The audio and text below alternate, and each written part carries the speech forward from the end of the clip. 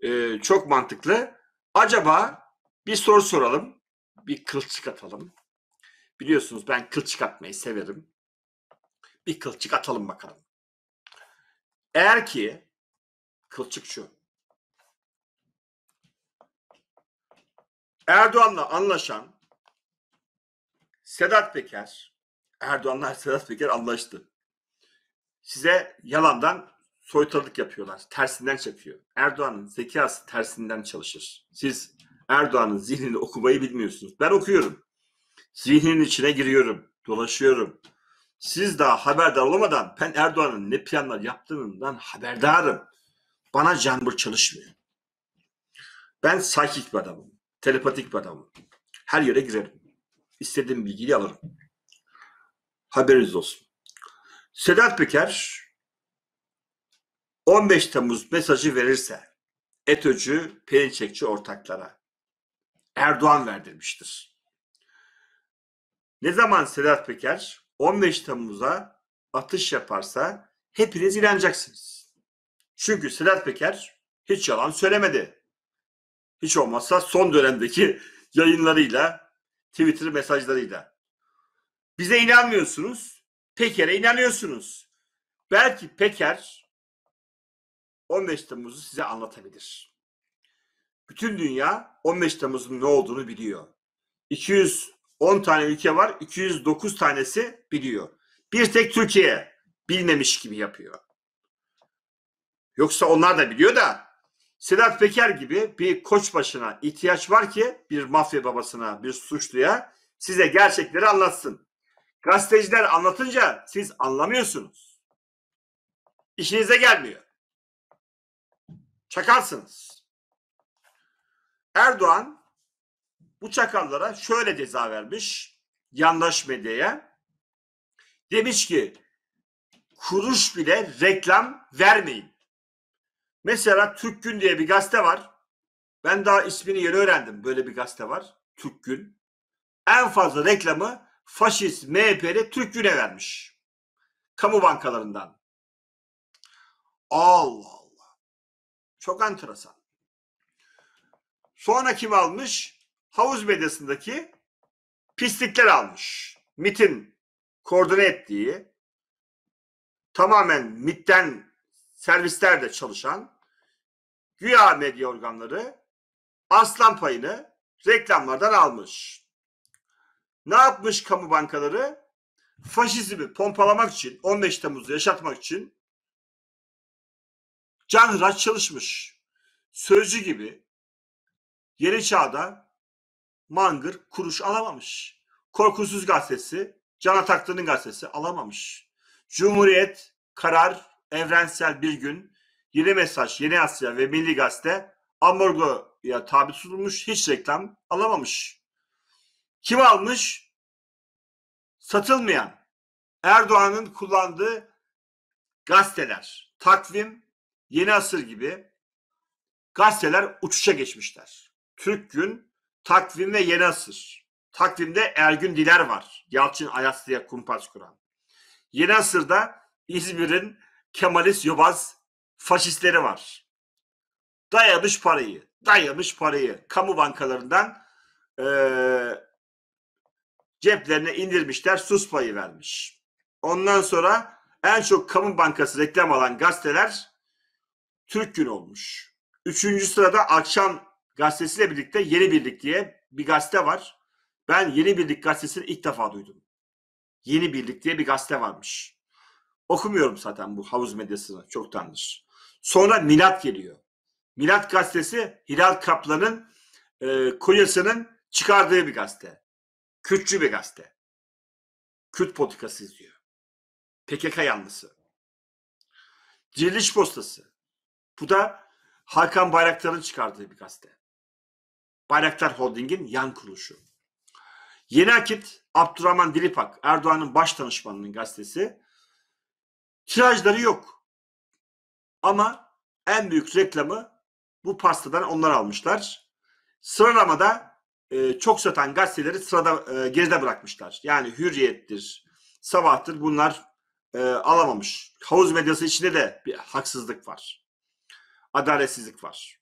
Yani adam havuz medyasında bile e, adaletsizlik yapıyor. Erdoğan çok adaletli bir adam. Gördüğünüz gibi. Ve zero çekmiş bazı gazeteler. Yani Sözcü'den e, saymıştım biraz önce. E, sıfır çekmişler. Aydınlık gazetesi de en çok e, Doğu Perinçek'in gazetesi reklam alanlardan. Yani Doğu Perinçek'in yayın organı Erdoğan tarafından yaşatılıyor. Daha önce ayda bir çıkan, kimsenin okumadığı Aydınlık gazetesini günlük hale getirdiler. Günlük gazete çıkartıyor Doğu Perinçek yıllardır. Parası Erdoğan'dan, örtülü ödenekten, kamu bankalarından. Hangi bankalar bunlar? Ziraat Bankası, Halkbank, Vakıfbank. Bütün bankalar Erdoğan'ın kontrolünde.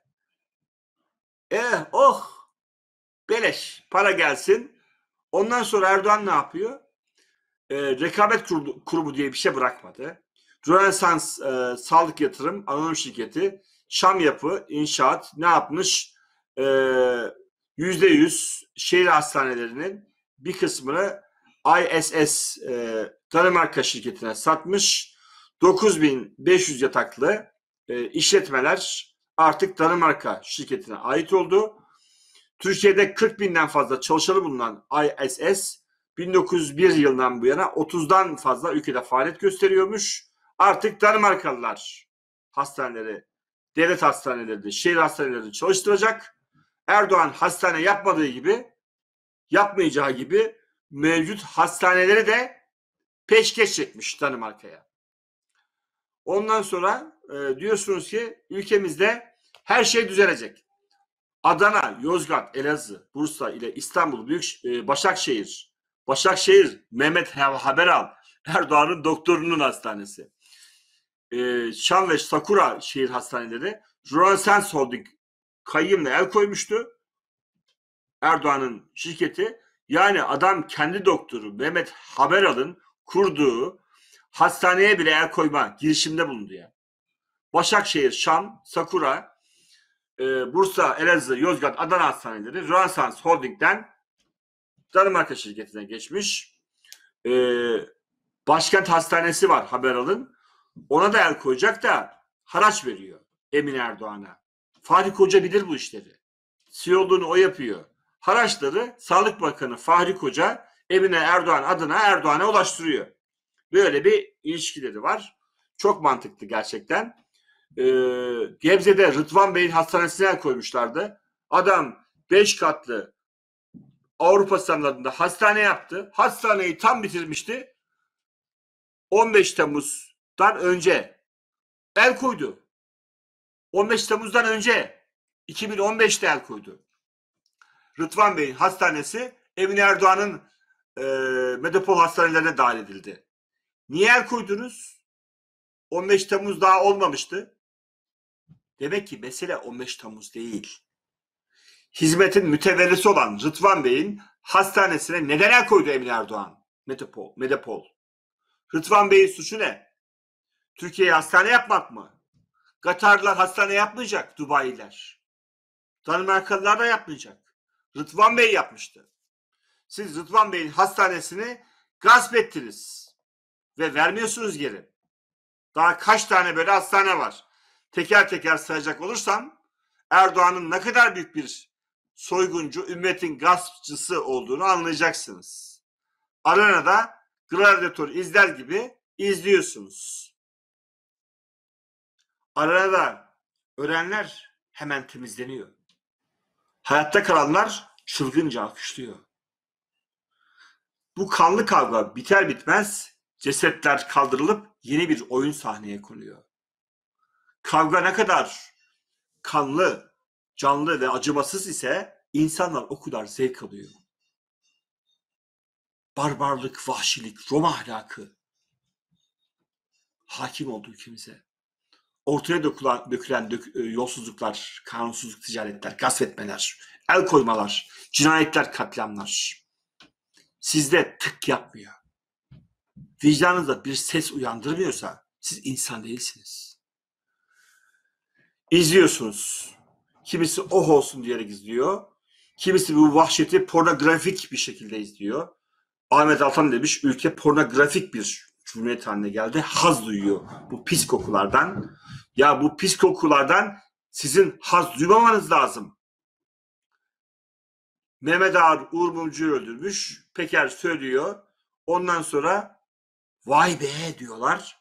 Güldal Mumcu hesap soracağım diyor Mumcu'nun çocukları.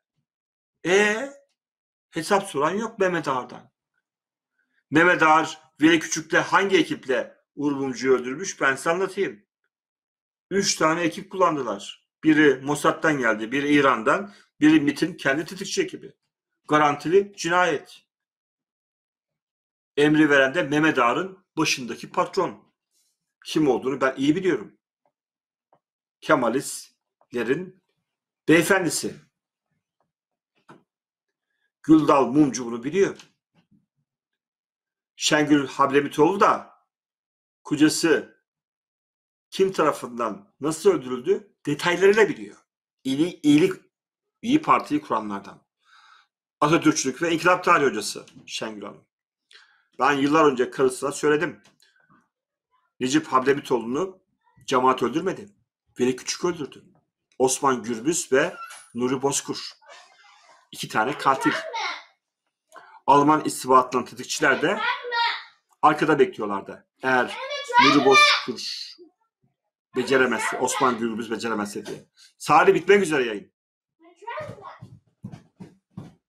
Evet Salih. Senin Dragon burada Salih. Senin Dragon'a ödünç aldım. Senin Dragon burada. Salih'e Dragon'ını verelim. Senin e, yılanı da aldım. Your snake is here. E, yayın için ödü- ödünç aldım Salih. Salih'e emanetleri teslim ettik. E, yayına da son verebiliriz herhalde arkadaşlar. Yayın buraya kadar. Yoksa e, ben saatlerce konuşabilirim ama bir saat 10 dakikayı bulduk.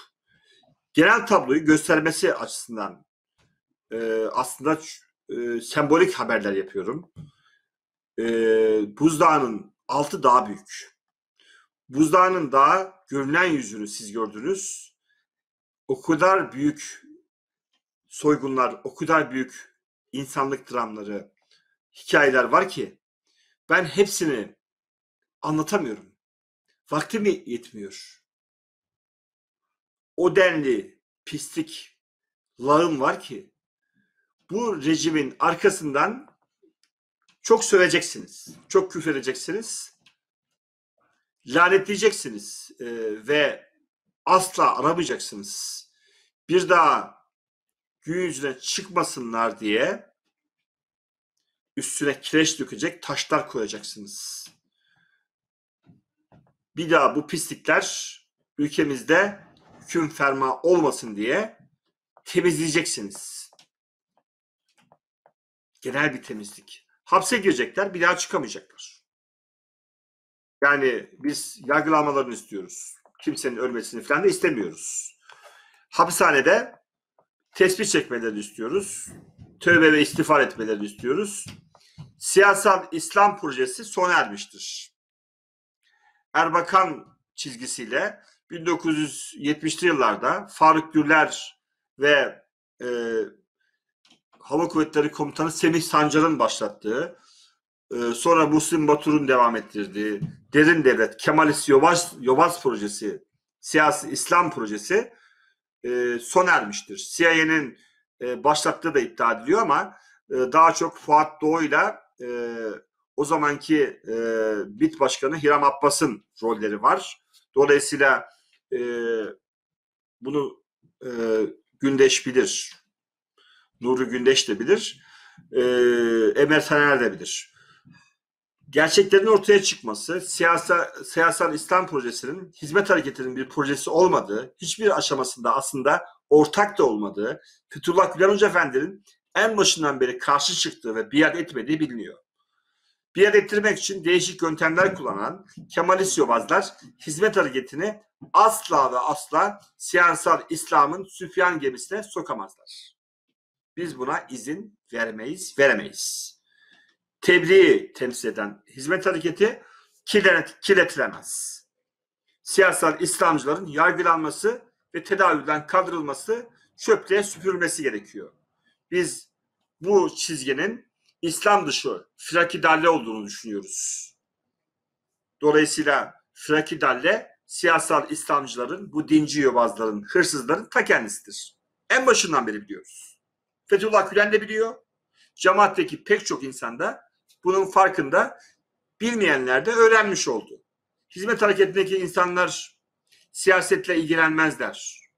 Yani medyası olmasına rağmen çoğu haberlerimizi, yazılarımızı okumamıştır. Bu zulüm sürecinde son 6-7 yıldır okumaya, öğrenmeye, meraklanmaya başladı. Siyasetle ilgisi yoktur. Siyasi parti kurmakla alakası yoktur. Sadece seçim vakitlerine gider kendi tercihi oy kullanır.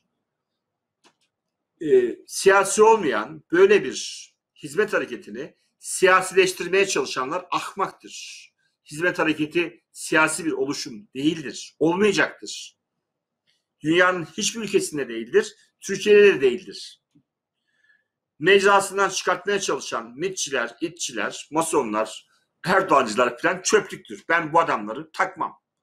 Zerre miktar gale de almam. Hizmetteki pek çok entelektüel arkadaşımız da zerre miktar takmazlar. Gale de almazlar. Bu pislikler yanlarında kar kalmayacak. Hesap soracağız. Hesap sormak zorundayız. Ve cemaati de uyandırmak zorundayız. Cemaat dışındaki insanları da uyandırmak zorundayız. Cemaatteki insanlar siyasetle alakasız insanlar. Yani kendi hayatlarında, eğitimlerinde, hizmetlerinde olan gönüllüler hareketi, insanlığa hizmet veren, güzel işler yapan, iyiliksever insanlar. Melek gibi insanlar. Şeytanlaştıramazsınız. Yok edemezsiniz. Ayrımcılık yapamazsınız. Ötekileştiremezsiniz. Günah keçisi yapamazsınız. Anladınız mı? Anlamadıysanız daha 5000 defa falan anlatacağım. Merak etmeyin. Cübbeli Ahmet Hoca bile 5000 defa konuşmuş, video videolar yapmış. Ben aşağı konuşursam olmaz. Cübbeli Ahmet Hoca 5000 defa konuşmuş. Benim yani 500 bin defa konuşmam gerekir diye düşünüyorum.